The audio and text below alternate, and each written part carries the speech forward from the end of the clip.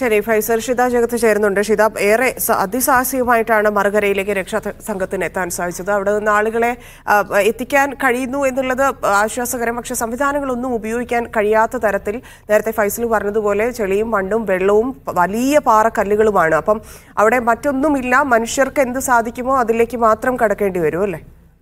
തീർച്ചയായും നമ്മൾ അത്തരത്തിലുള്ള സാധ്യതകൾ എടുത്തുകൊണ്ട് ആദ്യം ആളുകളെ രക്ഷപ്പെടുത്താനുള്ളവരെയൊക്കെ തന്നെ പരമാവധി സാധ്യതകൾ ഉപയോഗിച്ചുകൊണ്ട് രക്ഷപ്പെടുത്തുക എന്നുള്ളത് മാത്രമാണ് ഇപ്പോഴുള്ളത് കാരണം ഇങ്ങനെ ഒരു പ്രകൃതി ദുരന്തം വരുമ്പോൾ നമുക്കറിയാം അത്രത്തോളം അവിടേക്ക് എത്തിപ്പെടാനുള്ളൊരു ബുദ്ധിമുട്ടുണ്ടാകും. ഈ വലിയൊരു ഏരിയ വലിയ ചെറിയൊരു ഭാഗം മാത്രമല്ല ഈ ഒരു ഉരുൾപൊട്ടൽ ഉണ്ടായിരിക്കുന്നത്. അതൊരു വലിയൊരു ഏരിയയാണ്. അതായത് ആദ്യം കണ്ട സ്ഥലത്തിനപ്പുറത്തേക്ക് അവിടെ നിന്നൊരു പാലം കടന്നുപോയി ആ പാലം പോലും തകർന്നിരിക്കുന്ന സ്ഥലത്ത് മറ്റൊരു രീതിയിലൂടെ മറ്റൊരു വഴിയിലൂടെയൊക്കെ ആളുകളെ ആളുകൾ എത്തുകയാണ്. എൻ ഡി ആർ എഫിന്റെ ഒക്കെ തന്നെ രക്ഷാപ്രവർത്തകർ അവിടേക്ക് എത്തുകയാണ്. അതുകൊണ്ട് തന്നെ അത്തരത്തിലുള്ള എല്ലാ തടസ്സങ്ങളും നമുക്ക് മുന്നിലുണ്ട്. ഈ ഒരു പ്രകൃതിയുടെ ഇത്തരത്തിലുള്ള കാലാവസ്ഥാ പ്രശ്നം മഴ തുടരുന്നത് ഒപ്പം തന്നെ ഹെലികോപ്റ്റർ ഉൾപ്പെടെയുള്ള കാര്യങ്ങളിൽ രക്ഷാപ്രവർത്തനം നടത്താൻ പറ്റാത്തത് അത്തരത്തിലുള്ള എല്ലാ തടസ്സങ്ങളും നിലനിൽക്കുകയാണ് സാധ്യമായത് എന്തൊക്കെ ചെയ്യാൻ പറ്റുമെന്നുള്ളത് ആലോചിക്കുന്നത്. അതിന്റെ പുറത്താണ് ഇപ്പോൾ വടം കെട്ടിക്കൊണ്ട് അല്ലെങ്കിൽ റോപ്പിലൂടെ തന്നെ ആളുകളെ ഈ കരയിലേക്ക് എത്തിക്കാൻ കൊണ്ടുവരാനുള്ള ശ്രമങ്ങളൊക്കെ കൂടെ നടത്തുന്നത്. അത് ഒരുപാട് ആളുകൾ അവിടെ കുടുങ്ങിക്കിടക്കുന്നുണ്ടെങ്കിൽ ആ രക്ഷാപ്രവർത്തനം കുറച്ചേറെ നേരം നീണ്ടുപോകുമെന്നുള്ളതാണ് നമുക്ക് ആകെ മുന്നിലുള്ള ഒരു സങ്കടം എന്ന് പറയുന്നത്. പക്ഷേ അതിന് പകരമായി ആർമിയുടെ ഒരു എഞ്ചിനീയറിംഗ് വിഭാഗം വന്നു കഴിഞ്ഞാൽ ബദൽ പാലം ഉടനെ തന്നെ നിർമ്മിക്കുക. അതിനുള്ള ഒരുക്കങ്ങളൊക്കെ അവിടെ നടന്നുകൊണ്ടിരിക്കുന്നുണ്ട്. അങ്ങനെ ഒരു ബദൽ പാലം നിർമ്മിച്ചു കഴിഞ്ഞാൽ ഉടൻ തന്നെ ആളുകൾ കൂടുതൽ ആളുകളെ അവിടെ നിന്നും സുരക്ഷിത സ്ഥാനത്തേക്ക് എത്തിക്കാൻ പറ്റും. എത്ര പേർ അവിടെ കുടുങ്ങിക്കിടക്കുന്നുണ്ട്? എത്ര പേർ ആ മണ്ണിനടിയിലുണ്ട്?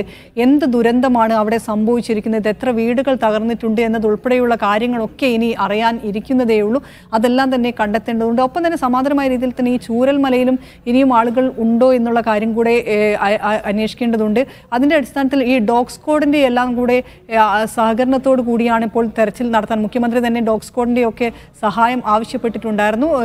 ഈ പെട്ടിമലയിൽ ദുരന്തമുണ്ടായിരുന്ന സമയത്തുണ്ടായിരുന്ന രണ്ട് നായകളെ ഡോഗ് സ്ക്വാഡിലുള്ള ഏഹ്, നായകളെ ഇവിടേക്ക് എത്തിച്ചുകൊണ്ടുള്ള ഒരു തെരച്ചിൽ നടത്തുന്നുണ്ട്. ഡ്രോണിന്റെ സഹായം തേടിയിട്ടുണ്ട്. ഫോറസ്റ്റിന്റെയൊക്കെ ഡ്രോൺ അവിടെ തെരച്ചിൽ നടത്തുമെന്നുള്ളതാണ് വ- വനം വകുപ്പിൽ നിന്ന് അറിയിച്ചിട്ടുള്ളത്. അങ്ങനെ സാധ്യമായതെല്ലാം തന്നെ ചെയ്യുന്നുണ്ട്. പക്ഷേ തടസ്സങ്ങൾ പലതുണ്ട് എന്നുള്ളതാണ്. ഒരു ജീവൻ രക്ഷിക്കുക എന്നുള്ളതാണ് ഏറ്റവും മുന്നിലുള്ള മാർഗം. ഓരോ ജീവനും വിലപ്പെട്ടതാണ്. ഇപ്പോൾ നമുക്ക് നഷ്ടപ്പെട്ടിരിക്കുന്നത് എൺപത്തി നാല് ജീവനുകളാണ്. അതെല്ലാം തന്നെ ഇന്നലെ രാത്രി ഒരു ഒന്നര മണി ഒന്നരയോട് കൂടിയാണ് ഇങ്ങനെ ഒരു ഉരുൾപൊട്ടൽ ഉണ്ടാകുന്നത്. ഒരു അത്രയേറെ ഒരു ചെറിയ ഒരു പുഴയായിരുന്ന സ്ഥലം പിന്നീട് വലിയ ഏക്കർ കണക്കിന് ഒരു പുഴയായി മാറിയ ഒരു അത് പോയ ആ കടന്നു പോയ വഴികളിലെല്ലാം തന്നെ എല്ലാം തുടച്ചു നീക്കിക്കൊണ്ട് തന്നെയാണ് ആ ഉരുൾപൊട്ടൽ ഉണ്ടായിരിക്കുന്നത് അത്രയേറെ വലിയ ഒരു പ്രകൃതി ദുരന്തമാണ് ഈ ചൂരൽമലയിൽ നമ്മൾ ഇന്ന് കണ്ടുകൊണ്ടിരിക്കുന്നത്. അതിന്റെ തന്നെ മുഴുവൻ ഒരു ചിത്രം നമുക്ക് മുന്നിലേക്ക് എത്തിയിട്ടില്ല എന്നുള്ളത് കൂടിയാണ് നമ്മെ അലട്ടുന്ന ഒരു കാര്യം എന്നുള്ളത്. കാരണം നമ്മൾ കണ്ടെത്തിയിരിക്കുന്നതിൽ ഇത്ര പേരാണ് മരിച്ചിരിക്കുന്നത്. എൺപത്തി നാല് പേർ മരിക്കുക ഒരു ദുരന്തത്തിൽ എന്ന് പറഞ്ഞാൽ അതൊരു വലിയ സംഖ്യയാണ്. ഇതിന് മുൻപ് വയനാട് കണ്ടിരുന്ന ഏറ്റവും വലിയൊരു ദുരിതം എന്ന് ദുരന്തം എന്ന് പറയുന്നത് പുത്തുമലയായിരുന്നു. അന്ന് പതിനേഴ് പേരാണ് ആ ദുരന്തത്തിൽ മരിച്ചിട്ടുള്ളത്. ഇപ്പോഴും ആറ് പേരെ കണ്ടെത്താനായിട്ടില്ല.